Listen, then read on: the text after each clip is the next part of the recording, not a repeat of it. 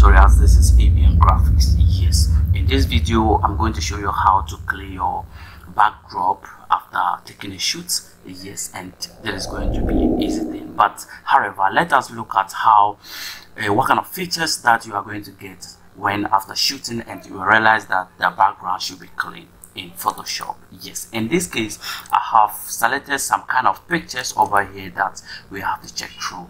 Yes, and this particular picture, yes, what we need to do is that you need to extend your background so that this kind of thing will go away. And when you look at the background so you see that there is kind of uh, wrapping and those kind of background you know it's not that good just because it's studio shoot so you you you have this kind of problem over there and you need to clean it up. And the next picture too when you check on this particular picture it's very good and it's beautiful. But however to make it very professional we just need to clean it so that down this kind of wrinkling thing uh, all of them will go away from. And it's going to be beautiful. And the next picture too when you check on the picture you see that the same thing just from the shoot and you need to clean it up so that all these kind of lines and those kind of things will go away and the background will be smooth. And the next thing is that checking on this particular picture to do the same thing. All what we need to do is to clean it up so that this kind of thing or kind of thing will go away just so that the picture will look so beautiful yes and that is the four pictures that I've just selected for you to check through. But however I just want to use one or two. Or if there's still more time I'll check on all those pictures for you. So let's just go into our Photoshop and let's get it done. So first of all this is our Photoshop and what we need to do is to open that particular picture or that particular image or anything. So let's just go to open and then we go over and select our uh, picture. So however let me just start with the one picture over here. And let's wait for it to what? To open so that we can do anything to it. Yes. However that is how we have the picture and this, in this one there's no need to extend there's no need to do anything. All what you need to do is to clean the background. You get that? Yes. And uh, there is some kind of very easy way of doing that. Is either you use a action to clean it.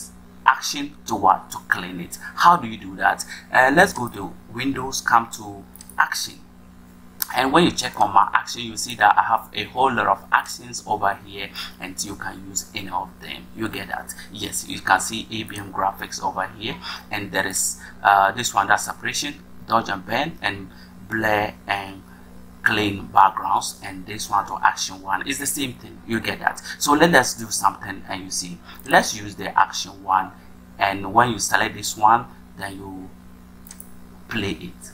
So when you play it just watch how it is going to do. First of all it's going to select the subject and the subject is the person in that particular uh, this thing. It will select it and the next thing what it will do is that you you get it will select it and it will you know uh, cut it. It will cut only the subject away cut only uh, the background away and then it will blur the background so that it will look more professional and beautiful and it will look more good when it comes to uh, photography. Yes and the picture itself will look beautiful for the client and you know the patron will like it. You get that? Yes. So let us watch out how it will do. You see what has happened. So when you check on it this is before and this is after.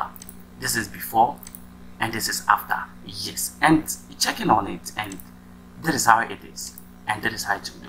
You get that. So this is how cleaning background is going to happen. But however let us do it manually. I don't want to have it like this. So let us do it manually. So i'll just delete everything just like that. Okay? And i'll close up this i don't need it. So this is the original picture so first thing you need to do is to create is to what? To duplicate the image of this by pressing ctrl g. So when you press ctrl g the next thing you have to do is to select the what? The subject. Select only this person in that. So i'll just come and click over here. Then when you're using the latest version of photoshop then you just have to click select subject. Or if you want to do it professionally you use your pen tool to select all the person you know select every every part of the person. You see that you see that it has selected just like this. Okay and it's beautiful. And you can even check through there are certain parts that that hasn't selected then you just select it like just this place too hasn't selected. So you just need to select it up. You get that. Yes. So but for the for the tutorials i don't want the tutorial to be too long. So i'm not going to do this kind of you know wahala you know it will take time. You get that. But if you are doing it for a client try and select any part of the person you get that. Yes. So after doing it what i need what i need to do is that you can right click and come to layer via cut over there just like this. You see that? So when i close all you see that all the person has been selected you get that and let me just bring it back again. Yes. And checking on this you see that when i close this and i close that i have only the background over here. And that one too is beautiful. So let me just open all. But what i need is that i just want to work with the background. So this one i'll call it background. Bg and then this one i'll call it subject. Yes and then after that I'll come and select my subject over here. Then I'll go to filter then I'll come to blur then I'll go to what? Gaussian blur you get that? And this particular case just try and move your radius to the end 0.1 and you start moving it and checking your, your background. At any time that you realize that the background is smooth and it's beautiful then you leave it that way. So let, let us just keep moving let's just keep moving. Let's leave for uh, 24 and you see that there is still that kind of things over there so you don't have to leave it there. So you can still keep moving it until the background is smooth and beautiful and those kind of wrapping things is normal.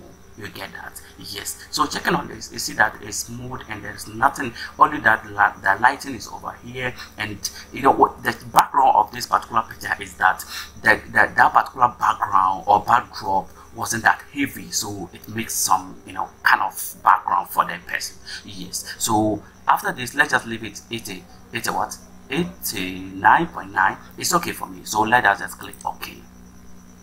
So when you check on this you see that it has been you know everything has been selected and it's beautiful. Okay yes. Checking on that is beautiful. And it's you know it's very beautiful. But however there is kind of um let's close it up. You see that uh, down there there is shadow and those shadow how do you bring it back? Yes let's just do that. And the next thing you have to do is add layer mask to that particular background over there just like this. You get that. Then you come and select your brush tool over here. When you select the brush tool over here and you just have to come let this place be black. So when it's black then you just have to increase your brush and then just select those places so that that particular shadow will come out very clear and it will look so beautiful. And there are certain parts too that need uh, the shadow to come out. Just try and bring it back and you see the image or that particular picture very beautiful. And that is how it's just going to be done you get that yes. And after getting this it's beautiful and you can decide to leave it that way. And the next thing i have to show you that this background looks so distant and i don't like it that way.